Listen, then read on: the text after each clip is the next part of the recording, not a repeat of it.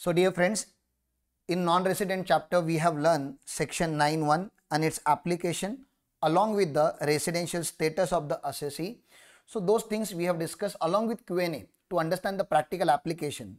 Now we are going to learn an exception to section 9.1. So what do you mean by exception to section 9.1? That is given in section 9a and this concept is eligible fund manager in India not to constitute business connection in India. We are not giving exemption from income. We are just saying, okay, if you are having a fund manager in India, it will not be constitute a business connection. To understand this particular term, allow me to explain you in brief. If this is the eligible fund, so what is eligible fund, sir? It's a mutual fund. Sir, who invest in this mutual fund? Various foreign companies, non-residents, foreign investors, they have collected and they have made this particular fund these people should be minimum 25 or more. Please understand at least 25 or more people should have invested or contributed money because we are considering this as a one of the mutual fund a foreign mutual fund offshore mutual fund. Offshore means foreign. And this mutual fund wanted to invest the money in india. Okay. Now whenever this foreign particular fund is wanted to invest in money in india indian market is also a very speculative market. It goes up down at any moment and if you don't have anybody who is working in India dedicatedly on the price movement of the funds, then obviously this foreign mutual fund or offshore mutual fund may lose a lot of money. They may have a lot of losses. So what they are saying, no, no, no, in India we need to have a representative. This is eligible fund manager. He has to comply with certain terms and conditions of SEBI. Okay, so it will, it will be according to the you know terms and conditions or guidelines issued by the SEBI, he will be managing the fund or money given by these foreign mutual funds. Just because they are having, just because foreign mutual fund is having a fund manager in India, a business connection should not be established. Because the business connection becomes established, a lot of income, a lot of income of this particular foreign mutual fund will become taxable in India and that is not an intention only income which is earned in Indian market, capital gain, dividend from Indian market, only that income should become taxable. They don't want to become a business assessee. They don't want to comply with the provisions of filing of return, all those things. They don't want anything like that. They don't want to establish their business connection in India. That is what their intention is because then if it, it becomes a business connection in India, then applicability of section 911 will be attracted. That's what they don't want okay? They don't want the applicability of 911 they just wanted to invest in india through a manager and they are requesting us please please do not consider our fund manager as our business connection. Government of india cannot give this concession blindly because it is possible that a genuine fund please understand a genuine fund can take the benefit but a tax evader fund evader fund means so there are five investors from India, if they wanted to incorporate one fund outside India and if they are coming to India like this, no, no, no, that should not happen. They should not misutilize the exception. Therefore, we are having so many conditions here and we are going to learn those conditions. Uh, so far, the institutes have not targeted section 9a in exam so it is possible that it may come in form of multiple choice question because lot of terminologies, lot of numbers you need to remember. So please have this particular understanding of section 9a and because a question was not targeted in the, in the past that doesn't mean it will not be never be targeted in future. We are making ourselves ready. Why? Sir, because in FA 2020 some of the provisions, some of the numbers, some of the conditions of section 9a were amended and therefore it becomes little important in the coming examination. Fund manager activity through an eligible fund manager. Fund management activity, this is foreign fund, through eligible fund manager not to constitute business connection. This is the whole theme. You're, we are not going to consider that mutual fund is having a business connection in India just because, just merely because they are having a manager in India. No, no, no, he is not an agent and all Please do not consider him agent. Do not consider him as a dependent agent and those conditions. Don't bring the business connection concept when section 9a is applicable. In a case of eligible investment fund, foreign fund, the fund management activity carried out through an eligible fund manager acting on behalf of such fund shall not constitute a business connection in India subject to fulfillment of certain conditions. So we are, we are going to learn a lot of conditions here. Location of the fund manager in India not to affect residential status of eligible investment fund. Just because they are having agent in India or manager in India, their residential status should not change because of this. Okay. An eligible investment fund shall not be said to be a resident in India merely because the eligible fund manager is undertaking the fund management activity on this behalf located in India. Next one. Conditions to be fulfilled by eligible fund, investment fund. These conditions are invest on investment fund. The eligible investment fund means a fund established or incorporated or registered outside India, offshore investment fund, which collects the funds from the members for investing it for their benefit. It's like a mutual fund. Further, it should fulfill the following conditions. First, the fund, fund should not be a person fund should not be a person resident in India. So it's not Indian mutual fund. It's definitely a foreign mutual fund. Fund should not should be resident of a country or specified territory with India is having DTAA. Uh, India should have DTAA with, with that country. That means you should not create a fund where India doesn't have DTAA, double taxation avoidance agreement or tax treaty, which enables India to gather the information from foreign country. If you have a DTAA, then India will get information from the foreign country very easily. So you must open your office or you must register yourself in a such a country with whom government of India is having tax exchange information agreement or DTAA agreement. Next one, the aggregate participation in the fund directly or indirectly by a person being a resident in India should not exceed 5% of the corpus fund. So this particular fund may have, usually it should have foreign investors. Okay. If they are having 100 crore collected, they have 100 crore collected. From India also somebody can invest in this particular mutual fund, in foreign mutual fund. So somebody who is there in India is investing in a foreign mutual fund and that foreign mutual fund is investing in India. So they are saying, okay, here there is a possibility of manipulation. All Indians will try to take benefit like this. So we said, yes, Indians can invest, Indian resident can invest, but not more than not more than 5%. Okay, not more than 5% of your total investment, total corpus, total capital. Now, this exception was introduced by FA20. What happens, my dear friend? This eligible fund manager is in India. And whenever they have taken the position in FNO market, futures and option market, you understand future and option markets are very speculative. And therefore, sometimes when prices goes up, prices goes down, to balance the transaction or uh, you know in fm we are having something called green shoe option. Okay this this term if you have heard it is something like that. In initial period the mobilization of the fund will be very high the fluctuation will be very high. To manage that fund immediately see this eligible fund manager may invest some of the money that he has gathered from indians or his own money. Please understand for initial period where the fund may not be stabilized in india fund will take its own time to get stabilized in India. Therefore, they are saying, however, this condition, this 5% condition, you should not apply. For the purpose of calculation of aggregate participant of investment in fund, any contribution made by the eligible fund manager, the fund manager who is playing the game in India, during the first three years, this is the honeymoon period you can say, in the operation of the fund not exceeding 25 crore. If the eligible fund manager is investing more than 25 crore, then we will consider. But if he is investing less than 25 crore in initial three years period, when the fund is not yet established its roots in India, we will allow you. This is to play with the immediate market fluctuation because we don't want to create a negative image of Indian eligible fund manager or India, Indian capital market in, the, in IOS foreign uh, foreign investment funds. Therefore, we are allowing them to invest even more than, please understand, even more than 5% of your corpus, but that has to be invested by the fund manager and that has to be done within the three years, which will not be considered in this 5% condition. Okay. A fund and its activity should be subject to the application of investor protection regulation in the country. So that country, India is having SEBI as the investor protector.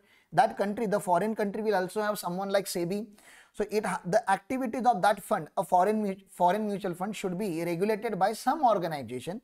So it has to be regulated. Okay, it should not be unregulated activities. The fund should have minimum 25 members who are directly or indirectly not connected person. meaning thereby it should be genuine mutual fund. No, you are trying to show it is a mutual fund, then it should have, it should be mutual. It should not be by individual. Therefore, more than 25 members should be there and they should not be a member of the same family or relative. Genuine 25 different members should be there in that fund. Any member of the fund along with the connected person shall not have any participation in the interest directly or indirectly in the fund exceeding 10%. Why sir? Just now we have discussed there should be 25 member minimum. Say for example, you have created a fund with 100 members, but all the 99 members are having only 1% stake. Okay, only 1% investment. And there is a one person who has invested 99%. Don't you think the person who has invested 99% is actually pro is proprietarily you owning this particular fund? This 99 people who are owning only 1%, they are just for the namesake. They are not a true investor Okay. So what they are saying, no, no, no, a single person should not invest. To look it as a genuine fund, to have it as a genuine fund in India, a single investor should not invest more than 10% in the total corpus of the fund. The aggregate participation interest directly or indirectly of 10 or less members because we want we want minimum 25 member now what will you do you will say okay one person cannot invest more than one person cannot invest more than 10%. So you will gather some more people. You gathered gathered the five people. Please understand. And now you five people are holding 10 10%. Okay. So what they are saying aggregate participation directly or indirectly of 10 or less member 10 or less member with the with their connected person in the fund shall not be less than shall in the case shall be less than 50%. So total investment of this 10 people connectively should be less than 50% of total corpus of the fund meaning thereby they, do, they don't want any individual or group of individuals. Please understand any individuals or group of individuals should not control the fund. It should be genuine mutual fund okay the investment by the fund in entity shall not exceed 20% of the corpus this particular entity is going to invest in india this should not invest in only in reliance only in tata so when you are investing in India, you should have an investment in multiple companies, not in any particular individual company where you are having more than 20% of the stake. That should not happen. No investment shall be made by the fund in associate entity. If there is an associate entity, you should not invest in associate entity or related party, then it will look like a manipulation and then transfer pricing provision has to apply. Then we will not give you concession of section 9A. The monthly average of the corpus of the fund shall not be less than 100 crore. Please understand because we are giving you concession like this. Minimum 100 crore you should bring in India. Okay, so corpus should be minimum 100 crore. If the fund has been established or incorporated in a previous year, the corpus of the fund should not be less than 100 crore at the end of the 12 month from the last day of the month uh, of its establishment or corporation. What it's saying, if the fund was established 5 years back, 10 years back, then on every 31st March you have to check on every 31st March okay uh, no sorry your monthly average should be 100 crore but when you have when you have invested when you have incorporated fund in the current year say for example you have incorporated fund as on uh, you know 22nd January if you have incorporated a fund on 22nd January so you are having only two and a half month or two month and some days okay? And within these many days you have to uh, you know you may not be able to maintain the monthly average of 100 crore. So what they are saying at least before 31st march at least before 31st march you should be able to gather 100 crore of capital okay? So before see look at this the corpus of the fund should not be less than 100 crore at the end of the period of 12 months from the last day of the month in which fund is established or incorporated so within the period of 12 months within the period of 12 months you have to at least reach at this particular 100 crore if you have incorporate, incorporated fund in India during the previous year. So they are giving you 12 month buffer time. Okay, somebody who has incorporated fund on 25th March, okay, may not be able to gather 100 crore within the 6 days and that may not he, he may not be able to report 100 crore as on 31st March. So we are giving him minimum 12 month period. So for every new fund, they will get a 12 month honeymoon period, you can say, a buffer period where they can raise their capital from lakhs to 100 crore. Okay. So, but within a 12 month, they must reach to 100 crore. However, this condition shall not be applicable for fund which has been wound up in the previous year. If fund is wound up, then condition is not applicable. Next condition. The fund shall not carry or control, manages directly or indirectly any business in India. Because we are considering you as a genuine mutual fund, you should not be doing any business in India because if you do business in India, then business connection should establish and the taxability of section 911 should attract. Okay. We are giving you relaxation because we are assuming you are not you are not engaged in any business activity or you are not interested in any business activity in India. A fund should neither be engaged in any activity which constitute a business connection in India nor should have any person acting on its behalf whose activities constitute a business connection in India other than the activities undertaken by the eligible fund manager on this behalf. Okay. Any remuneration paid by the fund to the eligible fund manager in respect of the fund management activity undertaken should not be less than the amount calculated in a prescribed manner. So, his remuneration will be calculated in some manner. They will, SEBI will issue the guidelines for that. So, what is eligible fund manager? Is there any specific provision? These provisions we have discussed for mutual fund. Sir, is there any condition for the fund manager? Yes, eligible fund manager in respect of the eligible investment fund means any person who is engaged in activity of fund management and fulfill the following condition. So, these are the conditions for Indian manager. A person should not be employee of the eligible investment fund or concerned person in, of the fund. So, you are not going to be a employee. You should not be employee. You should be acting as an individual fund manager and you should be earning commission from them, not salary. A person should be registered as a fund manager or investment advisor in accordance with specified regulation, SEBI regulation you have to follow. The person should be acting in the ordinary course of his business as a fund manager. It's not that just because of the foreign mutual fund you, are, you have started a fund management activity. Ordinary also you are a fund manager. The person along with his connected person shall not be entitled directly or indirectly for more than 20% of the profit accruing or arising to the eligible investment fund. So in India, whoever is managing the fund activity, he should not earn more than 20% of the profit that you are giving to this foreign mutual fund. Okay. Sir, all these things we have said and is done. This section is the most important section. Sir, because we are giving concession to this particular foreign mutual foreign mutual fund they are supposed to submit okay this indian manager has to support one statement with government of india okay you are not supposed to file income tax return you don't want to pay tax everything is acceptable but compliance is is must okay furnishing of statement in a prescribed form every eligible investment fund foreign fund shall in respect of activities in a financial year furnish within 90 days important mcq okay from the end of the financial year a statement in a prescribed form to the prescribed income tax authority. So you must share this particular you know activity statement within 90 days with government of india. The statement should contain information of fulfillment of above conditions and any other relevant information so obviously they just wanted to check the conditions are complied or not Sir, what if they don't furnish this particular statement with Government of India? Then there is a penalty under section 271 FAB which can be up to 5 lakh rupees. Please understand this is a 5 lakh rupees penalty, heavy penalty. This is also very important number that you should keep in mind. So in terms of section 9A, you are supposed to submit a statement within 90 days. If you don't submit, then you have to pay 5 lakh rupees penalty under section 271 FAB. So non-applicability of special regime of taxation under 9A. So this 9A will not be applicable to whom?